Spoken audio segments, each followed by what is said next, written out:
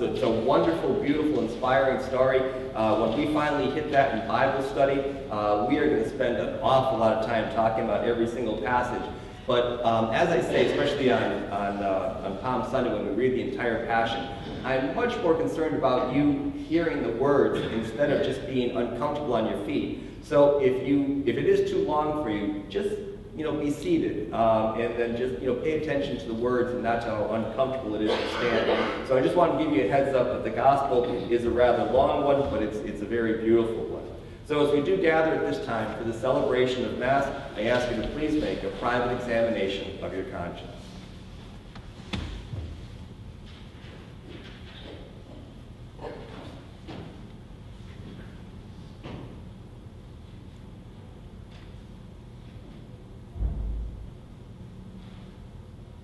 And may we now recite the Confiteor together. I confess to Almighty God, one of the Holy Trinity, who knows the innermost secrets of my heart, that I have sinned in thought, word, and deed, by my fault, by my fault, by my own great fault. In your presence, O God, I publicly express sorrow for the many sins by which I have offended you. I resolve to amend my life, to improve and sanctify, endeavoring henceforth to serve you faithfully all the days of my life. I ask all those who dwell within the Church of Christ blessed Mother Mary, the holy apostles, martyrs, faithful, who have lived, suffered, and died for the gospel of Jesus Christ, as well as you, my brothers and sisters, witness my confession and pray for me to our Lord God. The Almighty God have mercy on us, forgive our sins, and bring us to everlasting life. May the Almighty and merciful Lord grant us pardon, absolution, and remission of our sins. May our Lord Jesus Christ exalt you and with his authority vested in me, I absolve you from all your sins, in the name of the Father, and of the Son, and of the Holy Spirit. Amen. Show us your mercy, Lord. Lord, hear our prayer. The Lord be with you. Let us pray. Grant, most gracious Father, that in purity of heart we may worthily fulfill this holy action, establish remembrance of the Last Supper and the death of Jesus Christ and for our sanctification and salvation. Be present among us, Jesus, our most perfect Master, because you said there were two or three are gathered together in my name, you are among them. We also ask, Lord, that through this holy liturgy we may experience a spiritual revival and a better understanding of your holy will, bringing us together in one great family, guided by your commandments and by love, truth, and justice. And may we say together, let us praise the Holy Trinity, Father, Son, and Holy Spirit, one God, indivisible, revealed in triune power for all time, now and forever.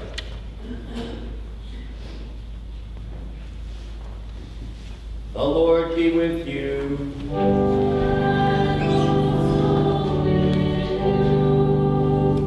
Let us pray.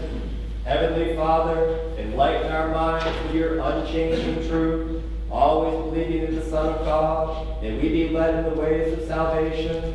We ask this the name of your Son, Jesus Christ, who lives and reigns with you in the Holy Spirit, one God forever and ever.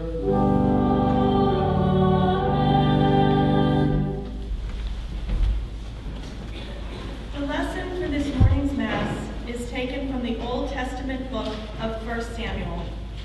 The Lord said to Samuel, how long will you grieve over Saul? I have rejected him from being king over Israel. Fill your horn with oil and set out. I will send you to Jesse the Bethlehemite, for I have provided for myself a king among his sons. When they came, he looked on Eliab and thought, Surely the, Lord, surely the Lord's anointed is now before the Lord. But the Lord said to Samuel, Do not look on his appearance or on the height of his stature, because I have rejected him. For the Lord does not see as mortals see. They look on the outward appearance, but the Lord looks on the heart. Jesse made seven of his sons pass before Samuel, and Samuel said to Jesse, The Lord has not chosen any of these. Samuel said to Jesse, Are all your sons here? And he said, There remains yet the youngest, but he is keeping the sheep. And Samuel said to Jesse, Send and bring him, for, for we will not sit down until he comes here. He sent and brought him in. Now he was ruddy and had beautiful eyes and was handsome. The Lord said, Rise and anoint him, for this is the one. Then Samuel took the horn of oil and anointed him in the presence of his brothers, and the Spirit of the Lord came mightily upon David from that day forward. Samuel then set out and went to Ramah. This is the word of the Lord. You who are deaf, listen. You who are blind, look and see. You see many things without taking note. Your ears are open, but without hearing.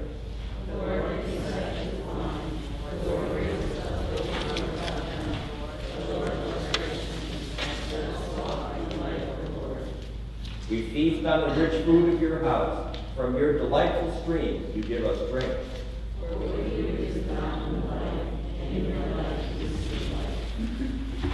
Cleanse my heart and my lips, my God. You cleanse the lips of the prophet Isaiah with a burning coal. In your mercy, cleanse me so I may worthily proclaim your holy gospel through Christ our Lord. Amen. May the Lord be my heart and on my lips, and I may worthily proclaim his holy gospel. Amen. The Lord be with you.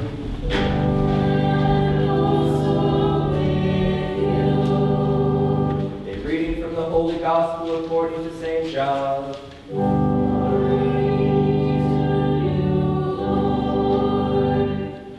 As Jesus passed by, he saw a man blind from birth. His disciples asked him, Rabbi, who sinned, this man or his parents, that he was born blind?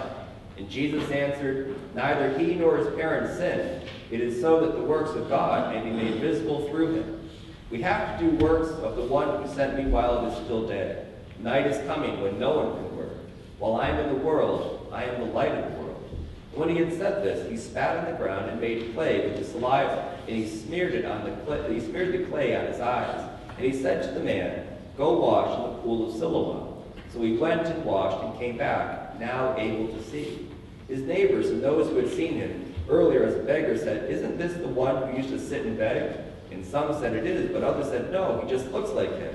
And he said, I am. And so they said to him, So how are your eyes opened? And he replied, The man called Jesus made clay and anointed my eyes and told me, Go to Siloam and wash. So I went there and washed and was able to see. And they said to him, Where is he? And he said, I don't know. And they brought the one who was once blind to the Pharisees. Now Jesus had made, made clay opened his eyes on a Sabbath day. So then the Pharisees also asked him how he was able to see. And he said to them, He put clay in my eyes, and I washed, and now I can see. So some of the Pharisees said, This man is not from God because he does not keep the Sabbath. But others said, How can a sinful man do such things like this? And there was a division among them. So they said to the blind man again, What do you have to say about him since he opened your eyes? And he said, He is a prophet. Now the Jews did not believe that he had been blind and gained his sight until they summoned the parents of the one who had gained his sight. And they asked them, Is this your son, who you say was born blind? How does he now see? His parents answered and said, We know that this is our son, and that he was born blind.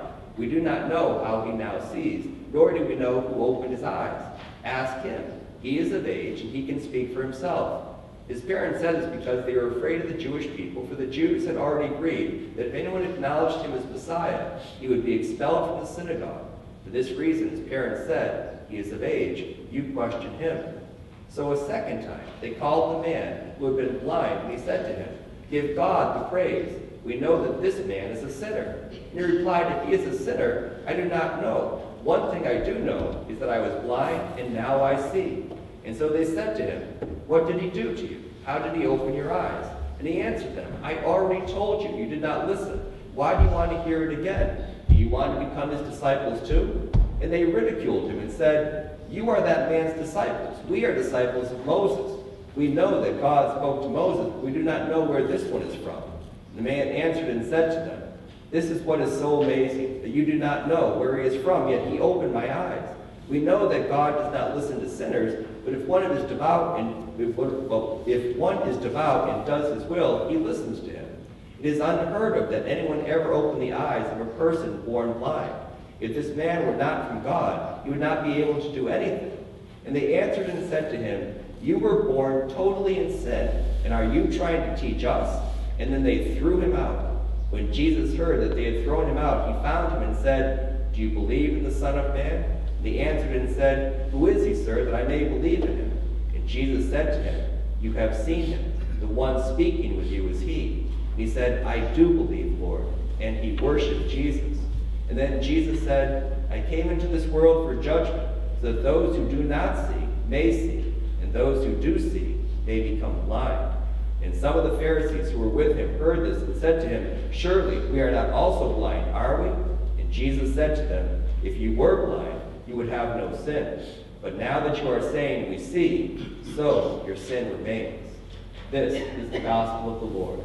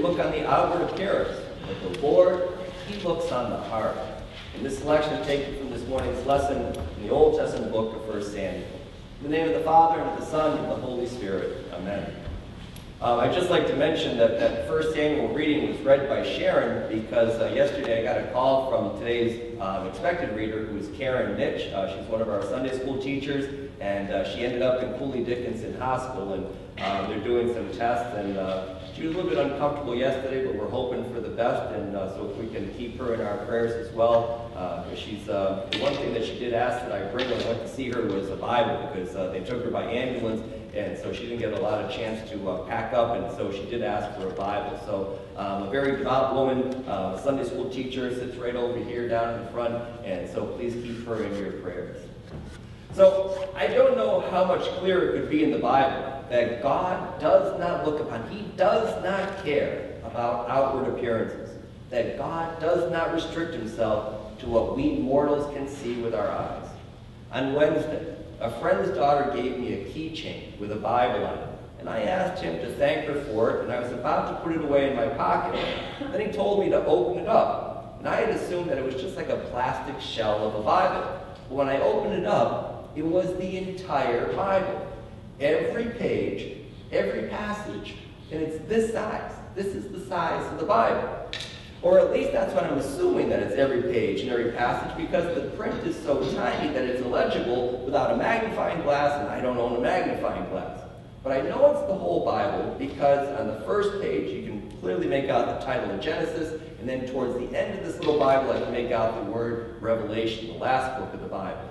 So even though I can't read the text of the Bible because it's so small, even though I can't see it with my eyes, this remains the eternal and abiding and continuing Word of God. It's there even if I can't see it. My not being able to see it doesn't change anything about the fact that this is God's Word. On the opposite end of the size spectrum, in my office I have a great big picture of Albert Einstein. He's always looking over at me as I'm sitting at my computer, kind of challenging me, I think, to think differently, to think bigger, to not always just have expected answers. And in great big letters that can be seen like that big I on an eye chart are printed this quote of his I want to know God's thoughts. The rest are details. Well, I'm meant to that. I want to know God's thoughts. The rest are details. This wasn't in a man who defines the word genius. His disheveled appearance has become what we expect a genius scientist to look like. And yet he had to flee from his home country because all they saw was not this extraordinary mind, this extraordinary person. All they saw was the outward appearance that this man was Jewish. They rejected his science as Jewish science because they could only judge by appearance. They lost one of the world's greatest minds, and maybe they even lost the war because his theories helped to unlock the power of the atom. So as our church prepares us for the unseen mystery that is the cross, she takes us back this morning to the story of David. Samuel was the last of Israel's judges. These were men and women who were temporary leaders of Jewish people. There was no dynasty. There were no trappings of great wealth nor power. They didn't have palaces. They didn't have armies. It was simply the charisma that they spoke the word of God. They were as needed leaders of Israel, and they ruled the people because the people saw in them the presence of God and the voice of God. But this all came to an end after Samuel. The people wanted a king instead, they said. And neither God nor Samuel was very happy about this, but Israel got their king anyway. So God tells Samuel, as you heard in the lesson, go to the home of Jesse in Bethlehem, because one of Jesse's sons is there to be anointed as, by Samuel as Israel's king. So Jesse sends out his eldest son before Samuel. Samuel immediately thinks to himself, this is the guy. He was tall, he was rugged, he looked like a king, but before Samuel could do anything, God says to him, don't you dare judge by appearances. Then Jesse parades six more of his sons before Samuel, but God never says anything to Samuel. So Samuel is confused and he asks, Aren't there any others? And then in a kind of like Cinderella like story, the youngest, the forgotten son, the one who is out working, tending the herds, while all the others are paraded before Samuel, he's finally called into the house. As soon as he comes into the presence of Samuel, immediately God orders Samuel anoint this one, the least likely son of some ordinary family in some nondescript village, was the one in whom God saw what no one else could see. On top of that, from that same family, from that same village, will come the Savior that so many people, like we heard today in the gospel, they could not see the presence of God in Jesus. So then we get to hear that rather long but extraordinary story of Jesus healing the man who was born blind the disciples repeat a commonly held belief that tragedy strikes those who have secretly sinned. It's the only way that they could understand the injustices that surrounded them. It's the only way they could cope with that age-old conundrum of why do the good people have to suffer? Why did good, decent people come down with cancer? Why did good, decent people get killed in automobile accidents? Why do families get burned in house fires when there are so many horrible people in the world that get by just no problem at all? There must be suffering in the world because of some unnoticed sin, because God wouldn't tolerate it any other way. And they asked Jesus about this. Who sinned? This man, the blind man, or his parents? And Jesus says, nothing. It's not like that at all. Tragedy, disease, accident are not signs of moral failures, in the least they have nothing to do with sin at all. And after the man was healed, the old school still insisted that he was a sinner rather than see the miracle that had just taken place, rather than see the hand of God working to heal one of his children, the Pharisees would only repeat that same old stale argument. You were born entirely in sins, he said, they say to that man born blind, and you are going to teach us? They simply would not listen to him because he was different than they were. He was blind and they could see, and he was starting to follow Jesus, and they would not. When the man healed of blindness finally sees Jesus with his eyes, he calls him Lord, and he says, I believe. Where others could only see the appearance of a handicap and could only conclude from that handicap that he was being punished by God for something that he or his parents had done, Jesus looked past all of that. He looked past the disease, and he looked past that horrible tradition that says someone who is hurting is being hurt by God intentionally, and Jesus instead, instead saw a person who was ready to believe. The ones who appeared so righteous and were the respected religious leaders of that day, they were the ones called sinners and blind by Jesus. They are the ones who were so sinful that they could not accept the miracle that had taken place. The one who appeared so sinful is the one in whom Jesus saw the little seeds of faith that would blossom into a full faith. We're here today as part of our worship of a God who entered our world in the strange, unexpected ordinariness of being one of us. And most of the world never saw him. And we're here during Lent because now we're trying to better understand the process that that wasn't enough for God to be one of us. And so uh, now we're trying to experience and process that mystery that that ordinary man, Jesus of Nazareth, was crucified as a rebel who threatened both the religious and political order of his day, and he will do the same today and every future tomorrow if we really listen to and follow his example and his teaching. In that man is the unseen reality of our crucified God and also our hope for salvation. Everybody thought it was over at the cross. Everybody thought a man had been crucified just like thousands of others had been crucified by the Romans before him and after him. But the unseen appearance of that man is that God loves us more than he even loves himself. The only way that we can see this truth of Jesus' reality is by looking past appearances and to the heart of the person. If God has told us and then told us again and again and again about this need to look past appearances, well, if this is the only way we can appreciate who Jesus is and take hold of salvation, then we also have to take this truth and we have to live it and practice it every single day of our lives too. We have to stop looking only at appearances and we have to strive to look past the appearances and see the heart of the person. The more we practice this kind of seeing, the more we start trying to see the way God sees, then to that degree we have the hope of living together peaceably and respectfully. And the more we do this, I think at least, the more Jesus can see that there are actual accomplishments that come from his death on the cross if we simply learn to see the heart of the other person and not just judge by appearances. So for these things we pray in his most holy of names. Amen. In the name of the Father, and the Son, and the Holy Spirit. Amen.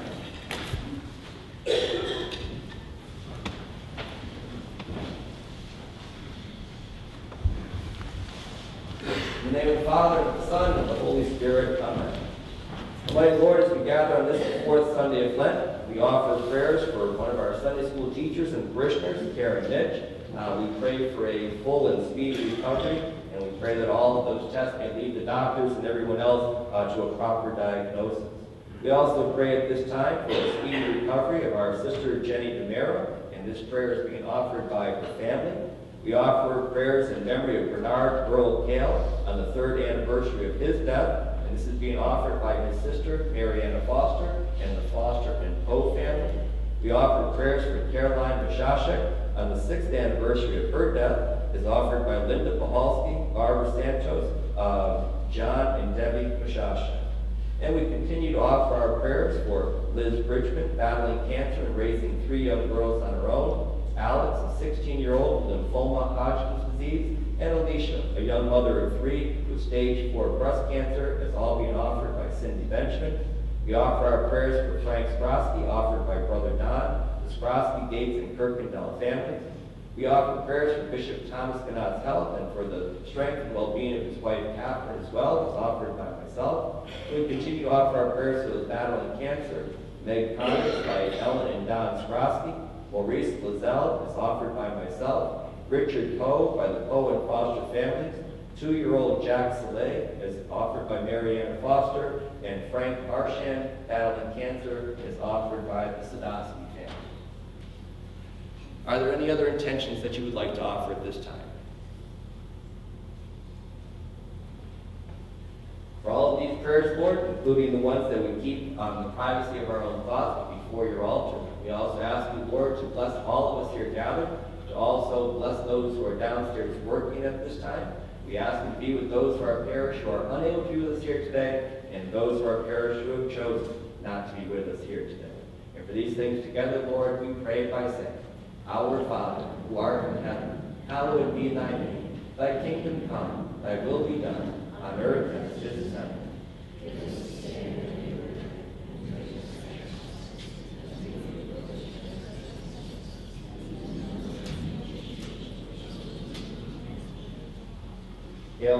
Hail Mary, full of grace, the Lord is with thee. Blessed art thou amongst women, and blessed is the fruit of thy womb, Jesus.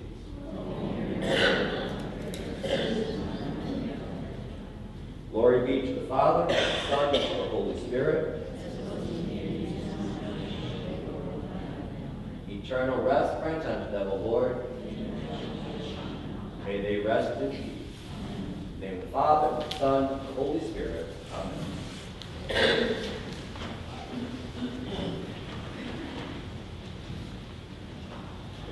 I believe in one God, the Father, the Almighty, maker of heaven and earth, of all that is seen and unseen. I believe in one Lord, Jesus Christ, the only Son of God, eternally begotten of the Father, God from God, light from light, true God from true God, begotten, not made, but one being of the Father. Through him all things were made. For us, and for our salvation, he came down from heaven. By the power of the Holy Spirit, he was born of the Virgin Mary, and became man. For our sake, he was crucified under Pontius Pilate. He suffered death and was buried. On the third day, he rose again in fulfillment of the Scriptures. He ascended into heaven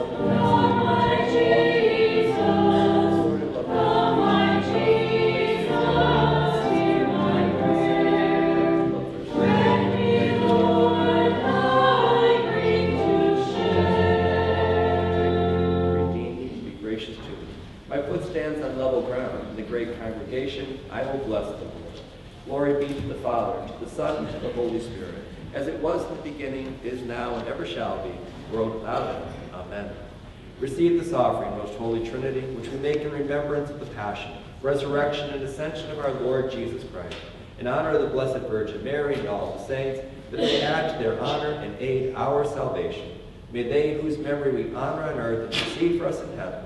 We ask this through Jesus Christ our Lord. Amen. Pray, my brothers and sisters, that our sacrifice may be acceptable to God, the Almighty Father.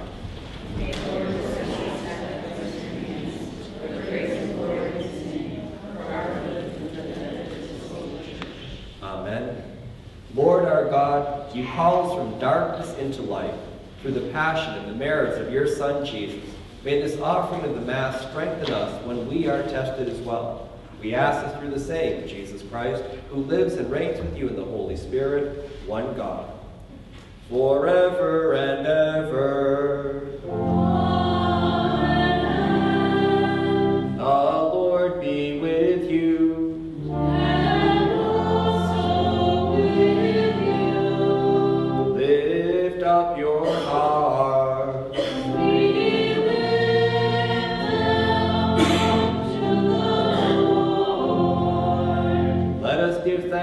Thanks to Lord our God.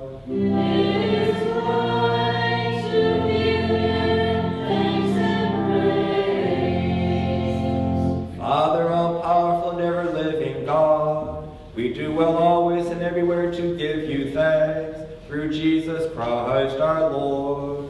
Through our fasting, you increase divine life within us. You preserve us from sin and lead us unto eternal life.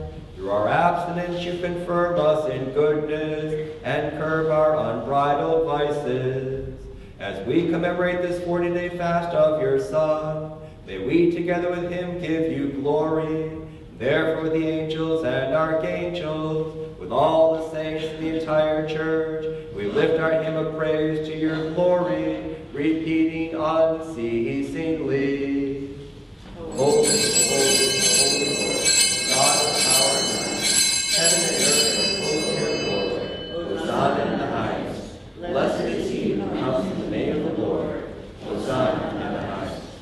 We therefore, most merciful Father, in Jesus Christ, your Son, most humbly beseech you to accept and to bless these gifts, these presents, these holy, unspotted sacrifices, which your holy church receives from you, employing you to defend and guide her throughout the world, together with her priests and all true believers of the holy faith. Remember, Lord, your servants.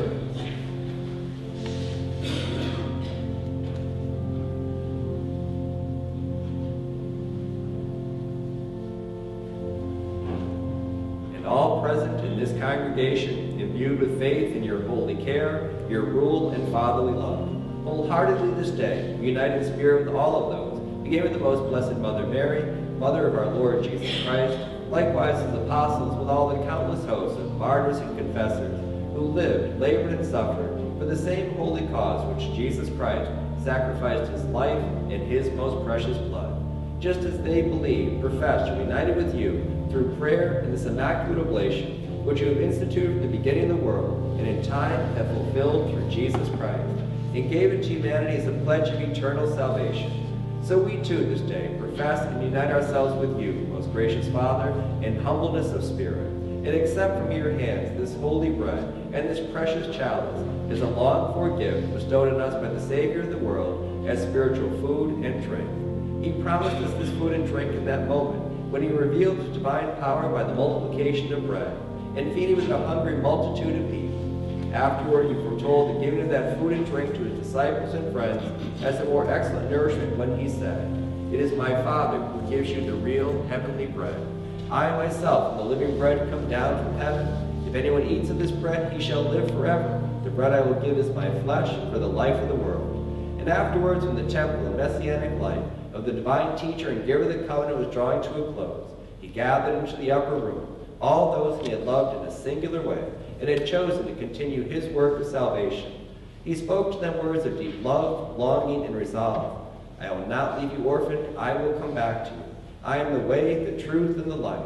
You are my friends if you do what I command you. Do not be distressed or fearful. You will suffer in the world, but take courage. I have overcome the world. If you live in me, and my words stay a part of you, you may ask what you will, and it will be done for you. Anyone who loves me will be true to my word, and my Father will love him. We will come to him and make our dwelling place with him. I consecrate myself for their sakes now, that they may be consecrated in truth, that all may be one, as you, Father, are in me and I in you. I pray that they may be one in us, that the world may believe that you sent me. I have given them the glory you gave me, that they may be one as we are one. I living in them, you living in me, that their unity may be made complete. Father, all those you gave me I would have in my company, for I am to see this glory of mine, which is your gift to me, because of the love you bore me before the world began. I myself am the bread of life. No one who comes to me shall ever be hungry. No one who believes in me shall ever thirst. After these and other words of the archpriestly prayer and with holy fervor, our Savior took bread into his holy and venerable hands, and having lifted his eyes to heaven, to you, his almighty Father, giving thanks to you, he blessed it, broke it, and gave it to his disciples, saying, Take this, all of you, and eat it, for this is my body, which is given for you.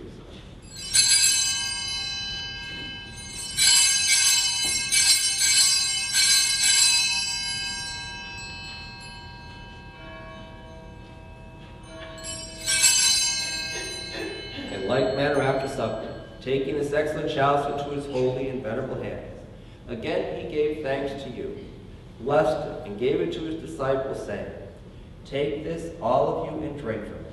For this is the cup of my blood, the blood of the new and everlasting covenant, which will be shed for you and for many for the forgiveness of sins. As often as you do this, do it in remembrance of me.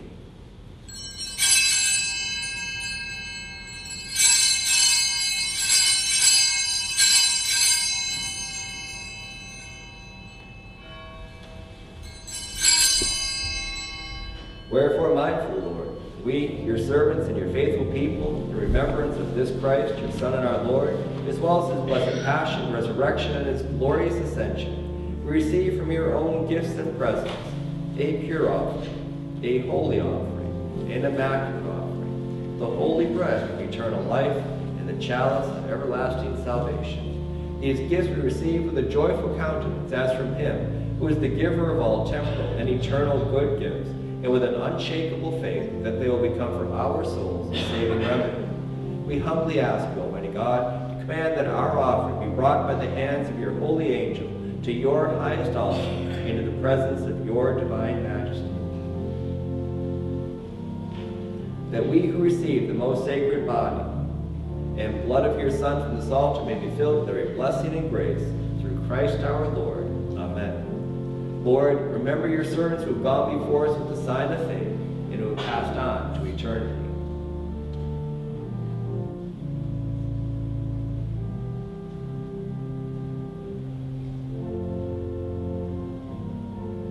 To these souls, Lord, and to all who rest in Christ, grant everlasting life. And to those who during life strayed from the path of righteousness, unmindful of your fatherly love, mercifully shorten their sufferings. We ask this in the name of your beloved Son, Jesus Christ our Lord. Amen. And grant us, your sinful servants, who hope in the greatness of your mercy, some part in fellowship with your holy apostles and martyrs and all your saints, who shed their blood for your name. Their hearts are always open to justice and mercy, and with lives patterned after the divine Master, merited eternal joy. Number us in their company, Lord, not weighing our merits, but pardoning our offenses, through Jesus Christ our Lord. Amen. By whom you always create, sanctify, revive, bless, and freely give us all these good things. Through him, and with him, and in him, all honor and glory are yours, Almighty Father, in the unity of the Holy Spirit.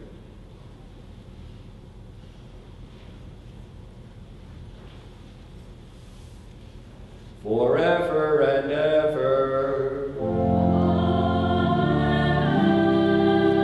Let us pray, instructed by our Savior's teaching and following divine example, we say with confidence.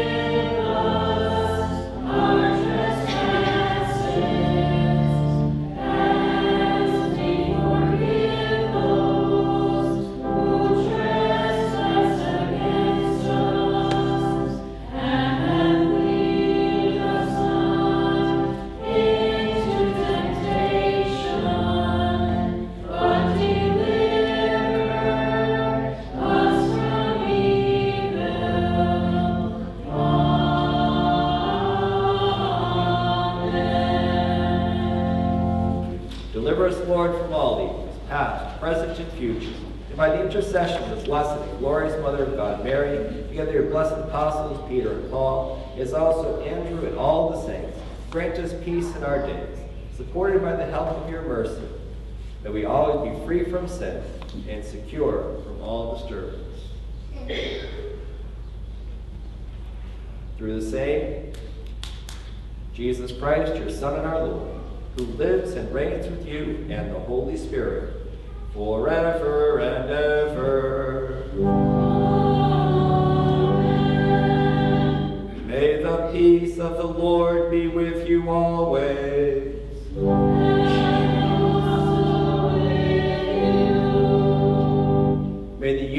Divinity and humanity in Jesus Christ bring us sanctification and life eternal. Amen. Lamb of God, you take away the sins of the world, have mercy on us. Lamb of God, you take away the sins of the world, have mercy on us. Lamb of God, you take away the sins of the world, grant us peace. Lord Jesus Christ, you said to your apostles, I leave you peace, my peace I give. Do not look at our sins and on the faith of your church, and grant us the peace and the unity of your kingdom. You live and reign forever and ever. Amen.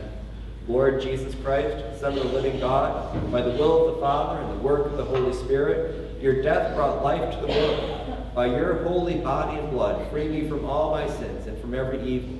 Keep me faithful to your teaching, and never let me be parted from you, who lives and reigns forever and ever. Amen. May the partaking of your body and blood, Lord Jesus, not be cause for my judgment. Though I am unworthy to receive this great sacrament, through your loving kindness may become my safeguard and healing remedy. My saving Master, awaken in me a living faith, fervent love, worship, adoration, and a holy longing. Through this communion, make me your willing servant, zealous to fulfill your holy will. May it last unite me entirely with you, my Lord and my God. Grant this who lives, reigns with God the Father, in unity with the Holy Spirit, forever and ever. I will take the bread of heaven, and I will call upon the name of the Lord.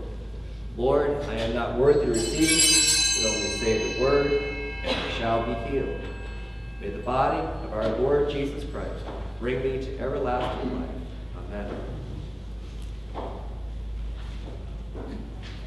Amen.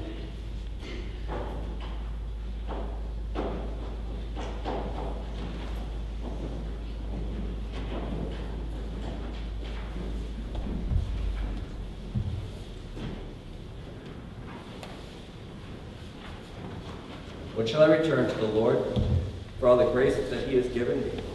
I will take the chalice of salvation, and I will call upon the name of the Lord.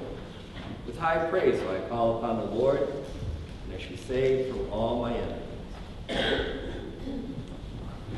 May the blood of our Lord Jesus Christ bring me to life everlasting. Amen.